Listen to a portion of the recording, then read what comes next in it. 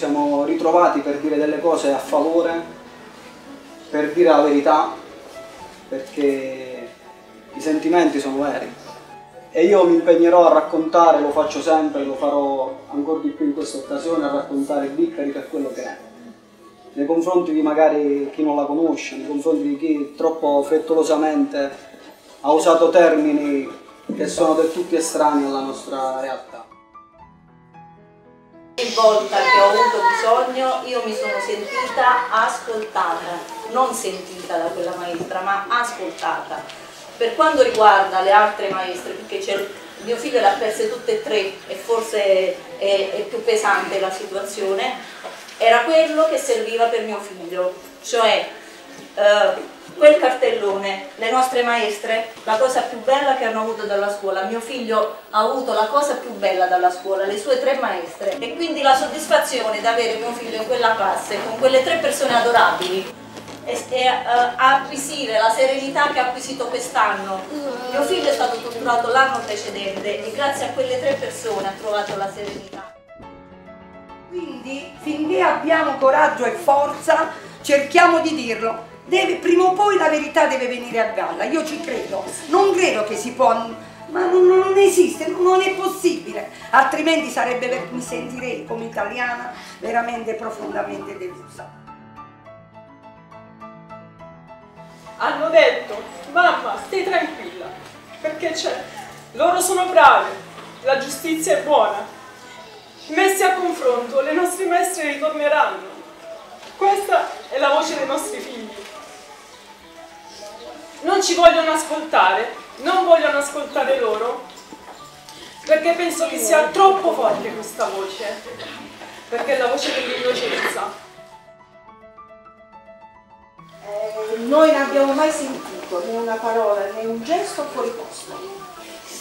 Quindi eh, con lei abbiamo fatto un corso che è durato mesi e quindi in mesi oppure lavorare anni eh, una parola doveva uscire fuori posto, non l'abbiamo mai sentita.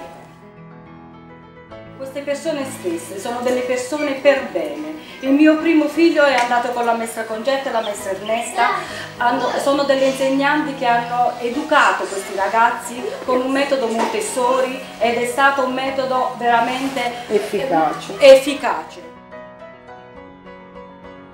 quindi hanno eh, veramente educato i nostri figli, i nostri figli hanno già manifestato per le loro maestre con una lettera di affetto, col dire non mollate, vi vogliamo bene, vi rivogliamo in classe perché non è giusto. Le, sono le mie maestre, sono le mie maestre che mi hanno aiutato tantissimo perché io ho un problema di, di disgrafia e dis dislessia, quindi ho anche problema a parlare di fronte a voi. L'hanno scoperto loro e sono state veramente brave a non mettermi in nessun tipo di imbarazzo, a evitarmi quals qualsiasi, qualsiasi problema, mi hanno sempre aiutato. E io oggi sono, faccio un lavoro che tutti sapete che sono a pubblico e riesco a parlare grazie ai loro insegnamenti. Queste maestre ho lavorato per tre anni con queste maestre, vi posso garantire che mi hanno fatto sentire a casa mia, cioè un gruppo favoloso, favoloso, delle maestre bravissime che guardano i bambini e dicono ma che belli questi bambini, cioè una cosa mai vista. Mio figlio non ha mai eh, riportato a casa malessere di scuola, anzi lui era contento di svegliarsi la mattina e di andare a scuola.